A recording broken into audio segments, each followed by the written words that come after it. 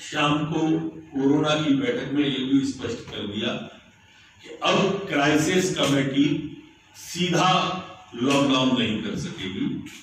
उसे भोपाल बात करना होगी। तो शासन के स्तर पर वो बात करेंगी। उसके बाद ही लॉकडाउन अब किसी भी ज़िले के अंदर होगा। सीधा लॉकडाउन जिला नहीं कर सके